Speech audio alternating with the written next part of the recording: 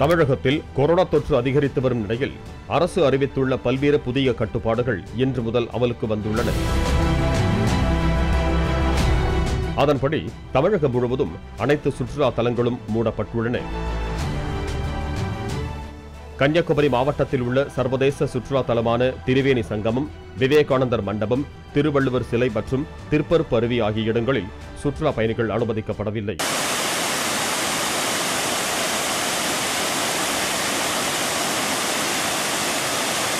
திருவள்ளுவர் சிலை விவேகானந்தர் பாறைக்கு செல்லும் படகு சேவையும் நிறுத்தப்பட்டுள்ளது.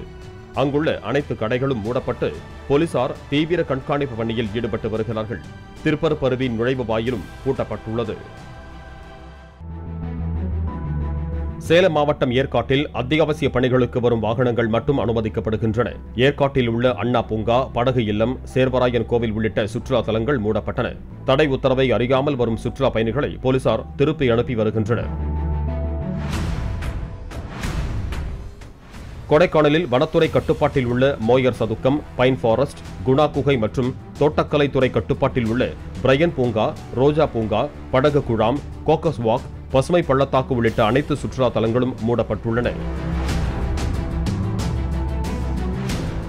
கொரோனா தடுப்பு நடவடிக்கையாக திருச்செந்தூர் சுப்பிரமணிய சுவாமி கோவிலில் கடலில் புனித நீராட பக்தர்கள் அனுமதிக்கப்படவில்லை. கடற்கரைக்கு செல்லும் வழிகள் தடுப்புகள் வைத்து அடைக்கப்பட்டுள்ளன. அதே சமயம் திருச்செந்தூர் கோவிலில் ஞாயிற்றுக்கிழமை நீங்களாக அனைத்து நாட்களிலும் சுவாமி தரிசனம் செய்யலாம். நாழிக்கிணறு பகுதியில் பக்தர்கள் வழக்கம் போல புனித நீராடலாம் என கோவில் நிர்வாகம் தெரிவித்துள்ளது.